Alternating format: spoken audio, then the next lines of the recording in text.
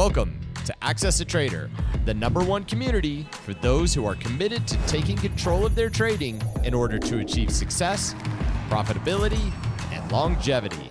Thank you for joining us. Here's Dan Shapiro to help you find your edge, master your process, and own your future. Hey guys, good evening, everybody. Welcome to another edition of uh, the AccessATrader.com uh, nightly wrap up show. Hope everybody is uh, doing well. Uh, hope everybody is, well, living your best life. So let's not beat around the bush. Let's talk about what the the man of the hour, the woman of the hour, the hour of the hour, the one, the only NVIDIA. So, biggest question going into today's session was how is the market going to react to the Fed minutes that we already knew what they said two weeks ago, right? And the second question was, well, how was NVIDIA going to react, especially after a 250 point run up? Here are the totals, right? Here's kind of basically the totals of what NVIDIA reported uh, $22 billion in revenues. So they beat uh, on revenues. They beat on gaming. Uh, they beat on adjusted gross margins, R&D expenses, justice expenses, cash flow. The only thing they did not uh, do well with is a 4.4% decline in their automotive revenue. Still uh, very, very healthy. Nevertheless, nevertheless, uh, NVIDIA is up a lot right? It's up about 75 points uh, after the close, and you can see where it is, and maybe it'll test it as I'm recording this video, but you can see where it is. Uh, NVIDIA is literally up here. My E signal doesn't doesn't um, um, doesn't change until uh, until after, uh, until the regular session. So let's just see in the next five ten minutes if NVIDIA can get above the 746 all time high, because that's exactly where it stopped here uh, after hours, but absolutely incredible, uh, incredible move. And as you can imagine, uh, NVIDIA is taking everything up with it. Uh, SMCI is up 90 points. Uh, ARM is up 10 points. Uh, AMD is up seven points. So basically speaking is, if you're not long anything going into tomorrow's, sec- tomorrow's session, kids leave the room, adults about to curse. Well, you're shit out of luck right? You should out of luck because realistically, then tomorrow you're in uh, you're in the corner of well, do I chase performance, right? Do I chase performance, or do I wait for a pullback that doesn't come, or do I wait for a pullback and hope for, a bounce into the after hours highs? The point is, you as a trader, again, I don't care uh, if you played NVIDIA today after the close, if you took something else. Realistically, any exposure you had, long or short, any type of technology names going into tonight's overnight, you were going long, basically, essentially, NVIDIA into earnings. If you did do well with it, congratulations, that's awesome. The rest of us who are flat technology going into this earnings report, now we got to figure out what the hell we do, right? What the hell we do. And the problem was usually it's not a big deal, but if you traded today, today was a very sloppy session. One of the sloppiest I can remember in a long time.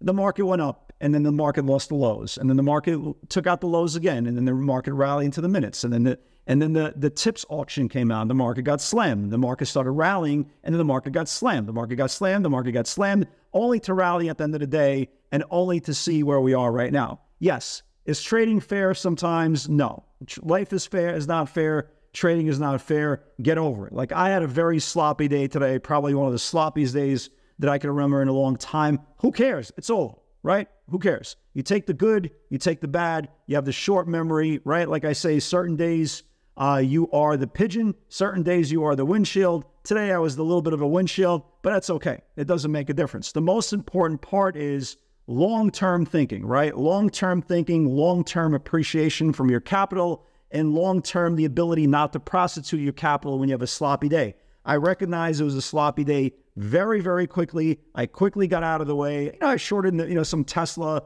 uh, towards the end of the day, caught a little bit of cash flow on the way back, but it doesn't make a difference, right? It's kind of an irrelevant day. And when you have an irrelevant day, whether you're up a little bit, down a little bit, or flat, it's kind of the cost of doing business. Every trader ran into the same sloppy market as the rest of us today. Believe me, your quotes are not different than mine.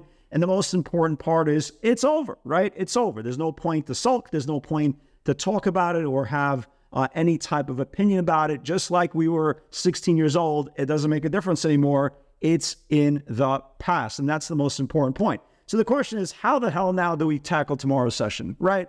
Obviously, with everything exploding, especially the semiconductor group, uh, over you know overnight.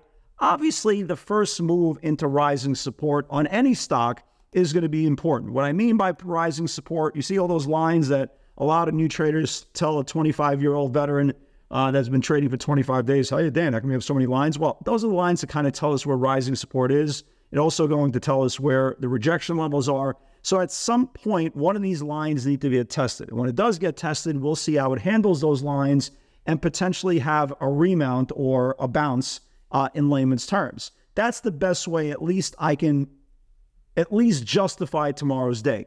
Tomorrow, if you are a brand new trader, is it the greatest day for you to trade, especially after today's slop fest? Probably not. Uh, I've always maintained the idea not every single day is good for every single body.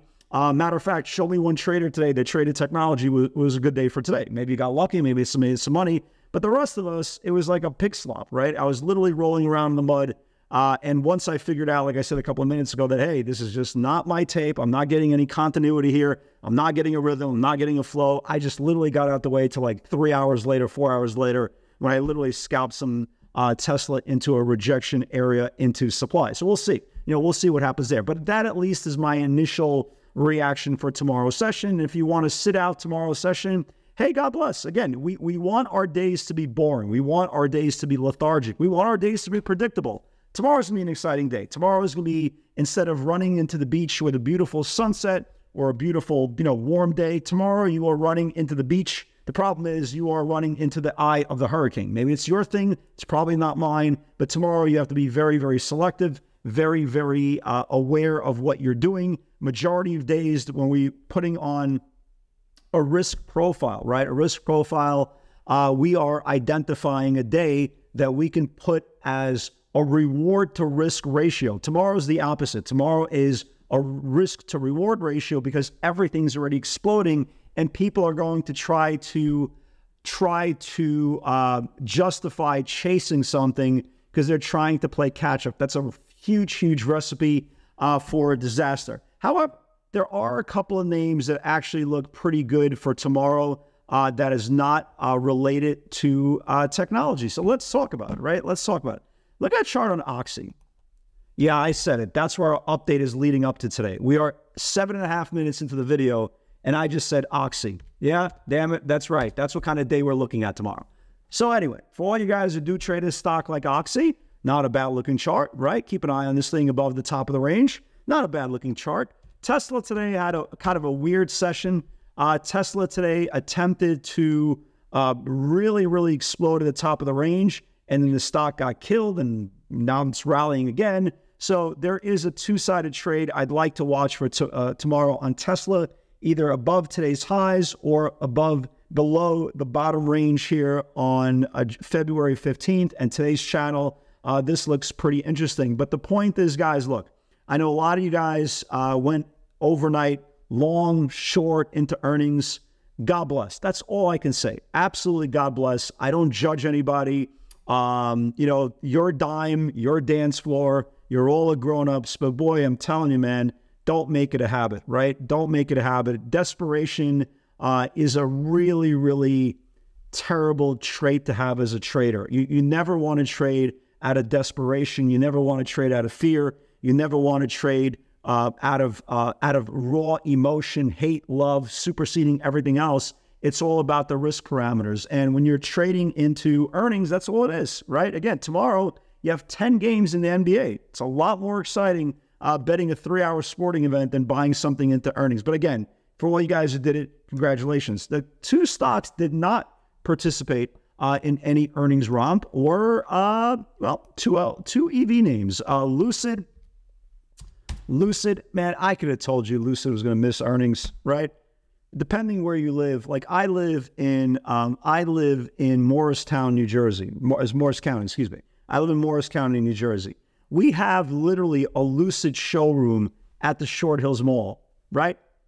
I think I've seen three Lucids probably in the last two, three years.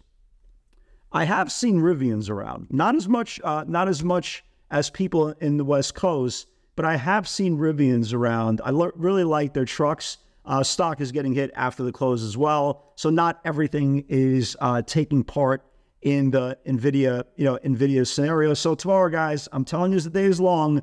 It's going to be a challenging day. Your emotions going to be put to the test.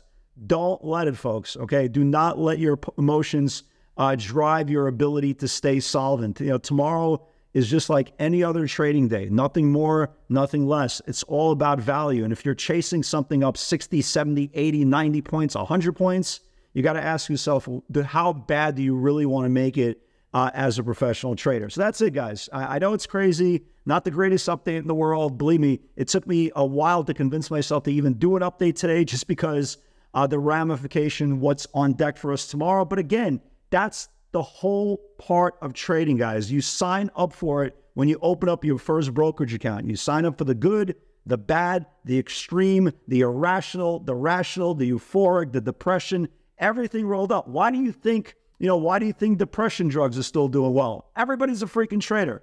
All jokes aside, guys, God bless tomorrow. Stay safe. Let's see what we have tomorrow. Maybe we get lucky. Maybe something will fall into our lap. Maybe we'll get that perfect bounce. We never know. But this is why we always talk about trading is the greatest reality show that's not on television. Tomorrow is my normal evening off. If you like the content, guys, if you like what we're doing, all we ask is, guys, just take a second, click a like. It'll help us out. It'll help provide value to you guys. And more important, folks, stay healthy, and I will see you all on the field tomorrow. God bless.